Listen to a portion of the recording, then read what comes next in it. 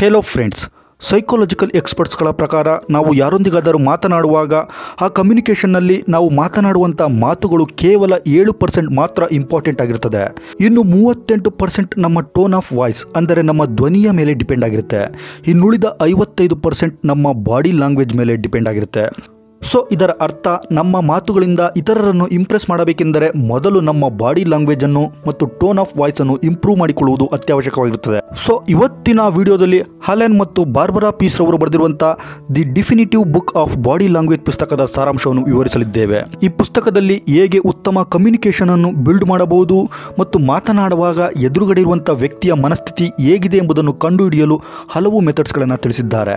ಅದರಲ್ಲಿ number one read in clusters ಅಂದರೆ ಮಾತನಾಡುವಾಗ ಎದುರುಗಡೆ ಇರುವಂಥ ವ್ಯಕ್ತಿಯ ಪೂರ್ತಿ ಬಾಡಿ ಲ್ಯಾಂಗ್ವೇಜನ್ನು ನಾವು ಸ್ಟಡಿ ಮಾಡಲು ಪ್ರಯತ್ನ ಮಾಡಬೇಕು.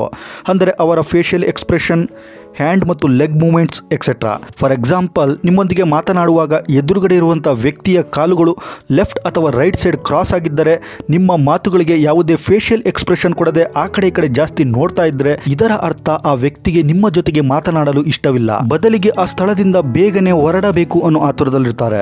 Next number two look for congruence ನಾವು ಯಾರೊಂದಿಗಾದರೂ ಮಾತನಾಡುವಾಗ ಎದುರುಗಡೆ ಇರುವಂಥ ವ್ಯಕ್ತಿಯ ಮಾತುಗಳಿಗೆ ತಕ್ಕಂತೆ ಅವರ ಬಾಡಿ ಲ್ಯಾಂಗ್ವೇಜ್ ಕೂಡ ಶೋ ಆಗಬೇಕು. ಸೊ, ಅವರ ಮಾತುಗಳು ಅವರ ಬಾಡಿ ಲ್ಯಾಂಗ್ವೇಜ್ಗೆ ಮ್ಯಾಚ್ ಆದರೆ ಅದನ್ನು ಕಾಂಗ್ರೆನ್ಸ್ ಅಂತ ಕರೆಯುತ್ತಾರೆ. ಆದರೆ ಕೆಲವೊಮ್ಮೆ ಕೆಲವು ವ್ಯಕ್ತಿಗಳ ಮಾತಿಗೆ ತಕ್ಕಂತೆ ಅವರ ಬಾಡಿ ಲ್ಯಾಂಗ್ವೇಜ್ ಇರೋದಿಲ್ಲ. ಫಾರ್ ಎಕ್ಸಾಂಪಲ್, ಒಬ್ಬ ವ್ಯಕ್ತಿ ನಾನು ಚೆನ್ನಾಗಿದ್ದೇನೆ ಅಂತ ಹೇಳ್ತಾನೆ.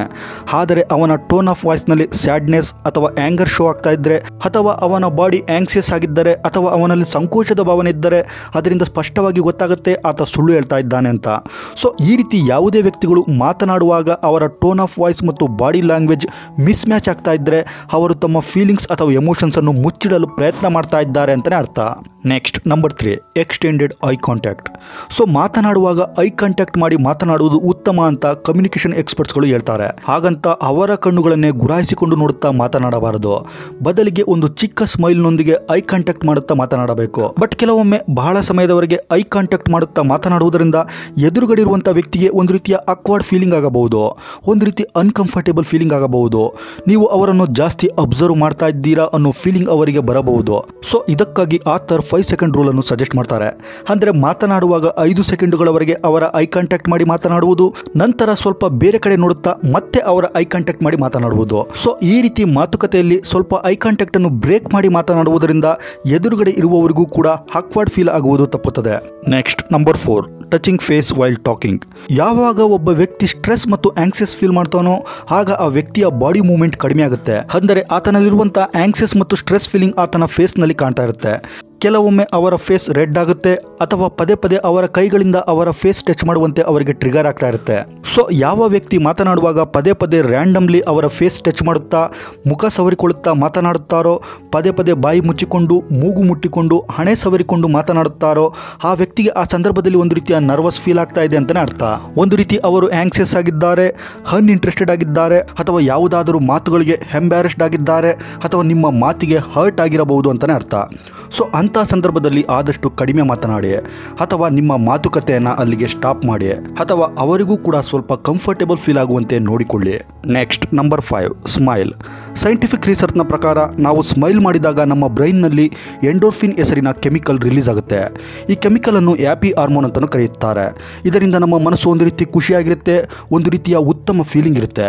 ಇಂಟ್ರೆಸ್ಟಿಂಗ್ ವಿಷಯ ಅಂದರೆ ಯಾರು ನಿಮ್ಮ ಸ್ಮೈಲನ್ನು ನೋಡುತ್ತಾರೋ ಸೇಮ್ ಅವರ ಬ್ರೈನ್ನಲ್ಲೂ ಕೂಡ ಎಂಡೋರ್ಫಿನ್ ಉತ್ಪತ್ತಿಯಾಗುತ್ತೆ. ಸೊ ಬೇರೆಯವರೊಂದಿಗೆ ಮಾತನಾಡುವಾಗ ಆ ಕಾನ್ವರ್ಸೇಷನ್ ಅಲ್ಲಿ ನೀವು ಜೆನ್ಯೂನ್ ಆಗಿ ಸ್ಮೈಲ್ ಮಾಡುತ್ತಾ ಮಾತನಾಡಿ.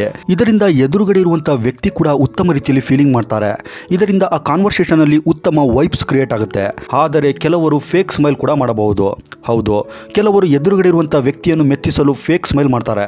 ಸೊ ರಿಯಲ್ ಸ್ಮೈಲ್ ಮತ್ತು ಫೇಕ್ ಸ್ಮೈಲ್ ಅನ್ನು ಪತ್ತೆ ಹಚ್ಚಬೇಕೆಂದರೆ ಅವರ ಫೇಸ್ ನೋಡಿ. ಒಂದು ವೇಳೆ ಅವರು ಸ್ಮೈಲ್ ಮಾಡುವಾಗ ಅವರ ಲಿಪ್ಸ್ ಮತ್ತು ಚೀಕ್ ಮಾತ್ರ ಎಕ್ಸ್ಪ್ಯಾಂಡ್ ಆಗಿ ಅವರ ಕಣ್ಣಿನ ಸುತ್ತ ಯಾವುದೇ ಮೂಮೆಂಟ್ಸ್ಗಳಿಲ್ಲವೆಂದರೆ ಅದು ಫೇಕ್ ಸ್ಮೈಲ್ ಆಗಿರುತ್ತೆ. ಒಂದು ವೇಳೆ ಆ ವ್ಯಕ್ತಿ ಜೆನ್ಯೂನ್ ಆಗಿ ಸ್ಮೈಲ್ ಮಾಡಿದರೆ ಆ ವ್ಯಕ್ತಿಯ ಐಬ್ರೋಸ್ಗಳು ಮೂವ್ ಆಗುತ್ತೆ. ಕಣ್ಣುಗಳು ಚಿಕ್ಕದಾಗುತ್ತೆ. ಕಣ್ಣಿನ ಸುತ್ತಮುತ್ತ ಮಸಲ್ಸ್ಗಳು ಮೂಮೆಂಟ್ ಆಗ್ತಾ ಇರುತ್ತೆ. ಸೊ, ಒಟ್ಟಾರೆ ಒಂದು ಜೆನ್ಯೂನ್ ಸ್ಮೈಲ್ನೊಂದಿಗೆ ಮಾತನಾಡಲು ಪ್ರಯತ್ನ ಪಡಿ. ಹಾಗಂತ ಎಲ್ಲ ಸಿಚುವೇಶನ್ನಲ್ಲೂ ನಗಬೇಡಿ. ಯಾಕಂದರೆ ಅತಿಯಾದ ಓವರ್ ಸ್ಮೈಲಿಂದ ಎದುರುಗಡೆ ಇರುವಂಥ ವ್ಯಕ್ತಿಗೆ ಒಂದು ರೀತಿಯ ಅಕ್ವಾರ್ಡ್ ಫೀಲ್ ಆಗಬಹುದು. ಒಂದು ರೀತಿ ಅನ್ಕಂಫರ್ಟೇಬಲ್ ಆಗಬಹುದು. Next number six folding arms ಆ ಥರ ಹೇಳ್ತಾರೆ, ಯಾವಾಗ ಜನ ಮಾತನಾಡುವಾಗ ತಮ್ಮ ಆರ್ಮ್ಸನ್ನು ಫೋಲ್ಡ್ ಮಾಡಿಕೊಳ್ಳುತ್ತಾರೋ ಅಥವಾ ಕೈ ಕಟ್ಟಿಕೊಳ್ಳುತ್ತಾರೋ, ಆಗ ಅವರು ಡಿಫೆನ್ಸಿವ್ ಪೊಸಿಷನ್ನಲ್ಲಿ ಬಂದಿರ್ತಾರೆ ಅಂತಲೇ ಅರ್ಥ. ಈ ರೀತಿ ಯಾವುದೇ ವ್ಯಕ್ತಿ ಮಾತನಾಡುವಾಗ ಕೈ ಕಟ್ಟುವುದು ಮೂರು ರೀತಿಯ ಅರ್ಥಗಳನ್ನು ಹೇಳುತ್ತೆ. ಕೆಲವು ಇಂಟ್ರಾವರ್ಟ್ ವ್ಯಕ್ತಿಗಳು ಕೂಡ ಮಾತನಾಡುವಾಗ ಈ ರೀತಿ ಕೈ ಕಟ್ಟಿಕೊಳ್ಳುತ್ತಾರೆ.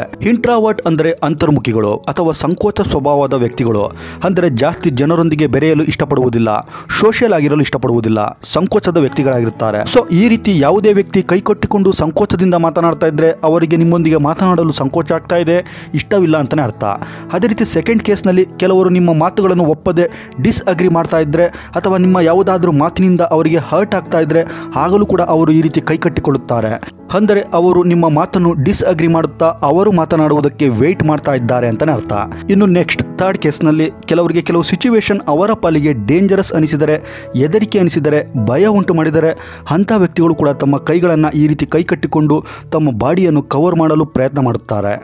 ನೆಕ್ಸ್ಟ್ ನಂಬರ್ ಸೆವೆನ್ ಮಿರರಿಂಗ್ ಅಂದರೆ ಮಾತನಾಡುವಾಗ ಕೆಲವು ವ್ಯಕ್ತಿಗಳು ಎದುರುಗಡೆ ಇರುವಂಥ ವ್ಯಕ್ತಿಯ ರೀತಿಯಲ್ಲೇ ವರ್ತಿಸಲು ಪ್ರಯತ್ನ ಮಾಡ್ತಾರೆ. ಅಂದರೆ ಅವರ ಸ್ಟೈಲ್ ಜೆಸ್ಚರ್ ಸ್ಪೀಚ್ ಪ್ಯಾಟರ್ನ್ ಅಟಿಟ್ಯೂಡನ್ನು ಕಾಪಿ ಮಾಡ್ತಾರೆ. ಅವರಿಗೆ ಗೊತ್ತಿರದ ಹಾಗೆ ಅನ್ಕಾನ್ಸಿಯಸ್ಲಿ ಅದನ್ನು ಕಾಪಿ ಮಾಡ್ತಾನೆ ಇರ್ತಾರೆ. ಇದನ್ನು ಸೈಕಾಲಜಿಯಲ್ಲಿ ಮಿರರಿಂಗ್ ಅಂತ ಕರೆಯುತ್ತಾರೆ. ಸೊ ಈ ರೀತಿಯ ಬಿಹೇವಿಯರ್ ಇದ್ದರೆ ಅವರು ನಿಮ್ಮೊಂದಿಗೆ ಮಾತನಾಡಲು ಇಷ್ಟಪಡುತ್ತಾರೆ, ನಿಮ್ಮ ವ್ಯಕ್ತಿತ್ವಕ್ಕೆ ಇಂಪ್ರೆಸ್ ಆಗಿದ್ದಾರೆ ಅಂತಲೇ ಅರ್ಥ. ಸೊ ನೀವು ಯಾರೊಂದಿಗಾದರೂ ಮಾತನಾಡುವಾಗ ಆ ವ್ಯಕ್ತಿ ನೀವು ಹೇಳುವಂತಹ ಕೆಲವು ಮಾತುಗಳನ್ನೇ ವರ್ಡ್ಸ್ಗಳನ್ನೇ ರಿಪೀಟ್ ಮಾಡ್ತಾ ಇದ್ರೆ ಮತ್ತು ನಿಮ್ಮ ರೀತಿಯಲ್ಲಿ ಕುಳಿತುಕೊಳ್ಳಲು, ನಿಮ್ಮ ಸ್ಟೈಲನ್ನೇ ಫಾಲೋ ಮಾಡಲು ಪ್ರಯತ್ನ ಮಾಡ್ತಾ ಇದ್ರೆ ಅವರು ನಿಮ್ಮೊಂದಿಗೆ ಮಾತನಾಡಲು ಇಷ್ಟಪಡ್ತಾ ಇದ್ದಾರೆ ಅಂತಲೇ ಅರ್ಥ. ಹೌದು. ಕೆಲವು ಸೆಲೆಬ್ರಿಟಿಯನ್ನು ಬಹಳಷ್ಟು ಇಷ್ಟಪಡುವಂಥ ಅಭಿಮಾನಿಗಳು ಫಾಲೋವರ್ಸ್ಗಳು ಆ ಸೆಲೆಬ್ರಿಟಿ ರೀತಿಯೇ ಮಾತನಾಡಲು, ಅವರ ರೀತಿಯ ಸ್ಟೈಲ್ ಮಾಡಲು ಪ್ರಯತ್ನ ಮಾಡ್ತಾ ಇರ್ತಾರೆ. ಇದನ್ನೇ ಮಿರರಿಂಗ್ ಅಂತ ಕರೆಯುತ್ತಾರೆ. ಸೊ ಓಕೆ ಫ್ರೆಂಡ್ಸ್ ಕೆಲವು ಕಮ್ಯುನಿಕೇಷನ್ ಸ್ಕಿಲ್ಸ್ ಮತ್ತು ಬಾಡಿ ಲ್ಯಾಂಗ್ವೇಜ್ ಸಿಂಬಲ್ಗಳ ಬಗ್ಗೆ ತಿಳಿಸುವಂಥ ಪ್ರಯತ್ನ ಇದಾಗಿತ್ತು. ಒಂದು ವೇಳೆ ಈ ವಿಡಿಯೋ ಇಷ್ಟ ಆಗಿದ್ದರೆ ಲೈಕ್ ಮಾಡಿ, ನಿಮ್ಮ ಸ್ನೇಹಿತರೊಂದಿಗೆ ಶೇರ್ ಮಾಡಿ. ಹಾಗೂ ನಮ್ಮ YouTube channel C G N ಕ್ರಿಯೇಟಿವಿಟಿಯನ್ನು ತಪ್ಪದೆ ಸಬ್ಸ್ಕ್ರೈಬ್ ಮಾಡಿ.